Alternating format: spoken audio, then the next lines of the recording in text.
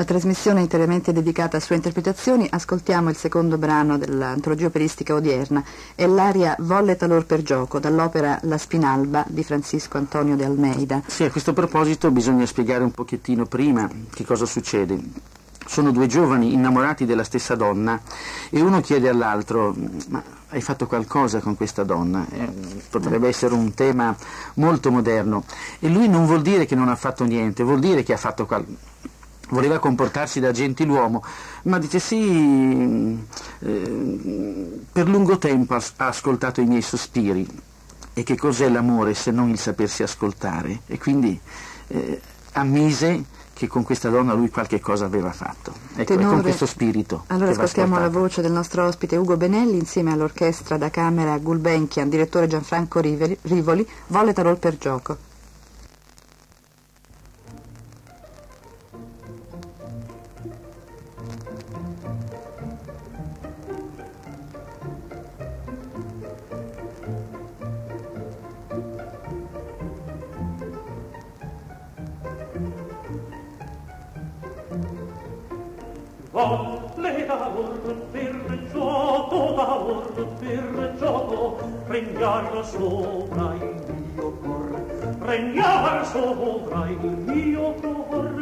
bir pizzeria tavur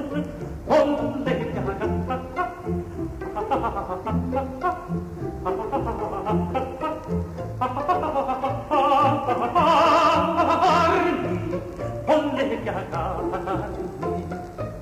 Olle jagatta Thank you.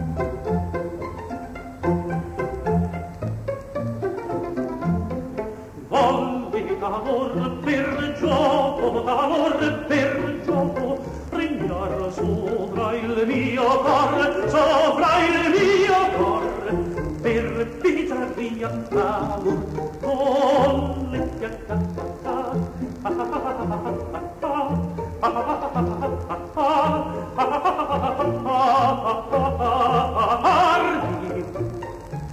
Volle cagarmi, d'amor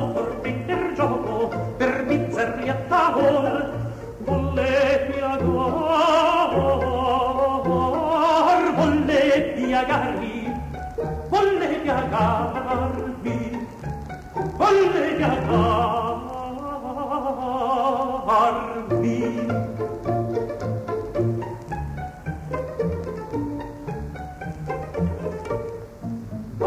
L'amoroso, l'amoroso, sacrete senza fren, non lascia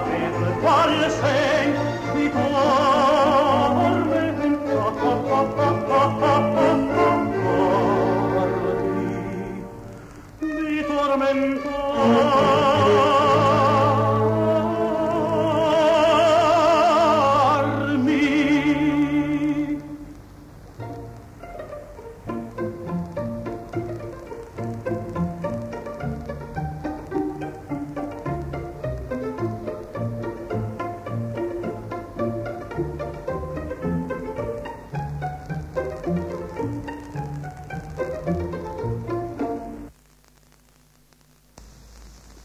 Francisco Antonio de Almeida, La Spinalba, Volle talor per gioco, il tenore Ugo Benelli, orchestra da camera Gulbenkian, direttore Gianfranco Rivoli. Sì, a proposito di Gianfranco Rivoli, non a caso ho scelto questo brano.